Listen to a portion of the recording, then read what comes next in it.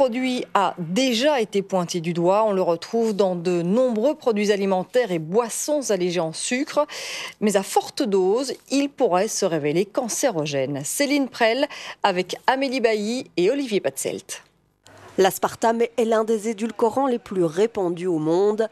Une substance de synthèse présente dans des milliers d'aliments et de boissons labellisés diététiques ou sans sucre. Oui, je connais, oui, j'en prends tous les jours. Dans mon café, oui. Je suis diabétique et donc euh, c'est un, un, moyen d'un peu sucrer mes aliments, mais avec précaution quand même. L'aspartame apporte un goût sucré, sans les calories.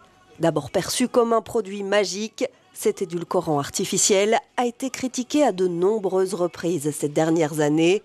Consommé régulièrement et en grande quantité, il favoriserait l'apparition de cancers, notamment au niveau du tube digestif.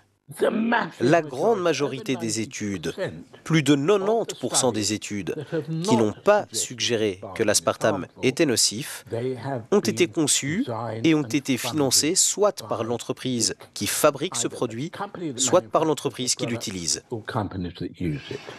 Comme pour le vrai sucre, il faut éviter les excès et consommer l'aspartame ou les autres édulcorants avec modération. Normalement, les recommandations, c'est inférieur à 10% de sucre ajouté sur la journée et on est bien au-delà. Donc c'est vraiment, c'est vraiment cette dose qui fait le poison. Donc un petit peu d'édulcorant de temps en temps, ça pose pas de problème. Beaucoup d'édulcorant, c'est problématique. Plutôt que de consommer des boissons allégées toute la journée, il est par exemple préférable de s'autoriser un vrai soda mais de temps en temps. Pour suivre le témoignage de